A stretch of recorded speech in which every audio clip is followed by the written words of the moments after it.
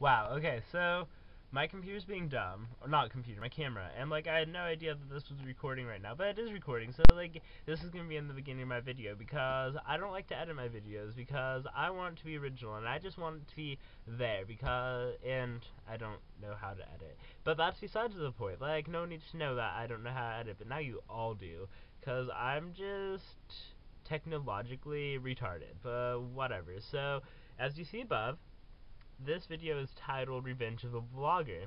And this is because last night after I posted my two new videos, one of my really good friends and one of my two subscribers texted me and told me that he didn't like them and that I needed to go watch other vlogs to see how it's done because I didn't do it right or whatever. And I'm just like, bitch, I'm original and I'm awesome. Like, if you don't want to see my videos, then you can unsubscribe. Like, it's not a big deal. I can have one subscriber as long as that subscriber is awesome and watches them and doesn't bitch me out. So, I'm just so over it. Like, I love this kid, and I think he's going to stay subscribed and keep watching.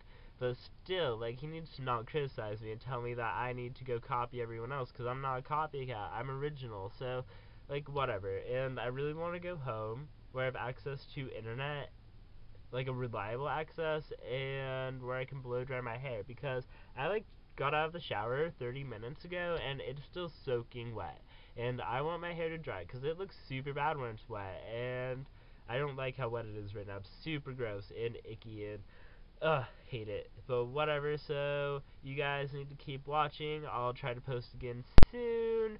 This video was pretty much a rant, but like whatever. Video number 5 subscribe and want to get that up and stay amazing because you guys love me and you watch me because I'm awesome and I'm a hottie.